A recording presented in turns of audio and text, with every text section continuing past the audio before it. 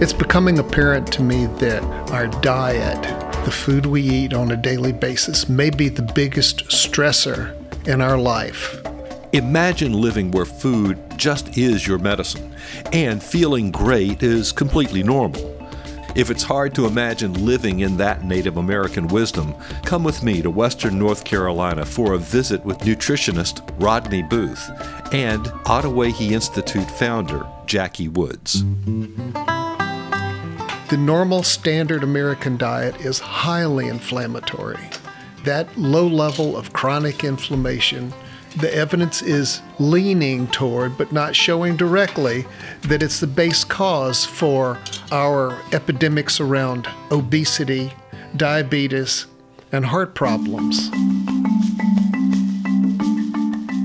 The food, such as the salmon, research has clearly indicated that the omega 3s, the DHA and the EPA that are so important for us for our cell membranes, and the farmed salmon and in the genetically modified salmon is much, much lower than in the Atlantic salmon. So even though you think you might be eating something good, you're really not.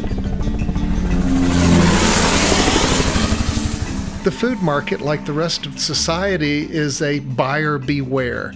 You have to know what you're eating, and you have to have some education to know what kind of a diet is good for you. The same diet doesn't fit for everyone. Some people have allergies. Some people have allergies they don't even know about. They think nasal congestion is common. It's not. Some people don't do well with dairy.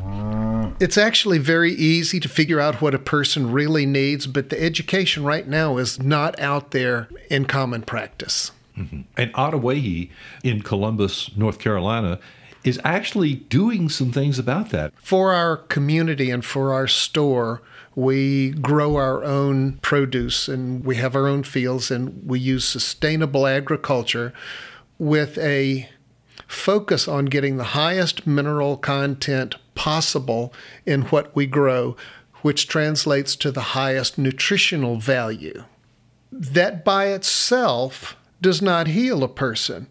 You have to meet that person's specific body chemistry and feed what their body chemistry needs. And then the lights come on.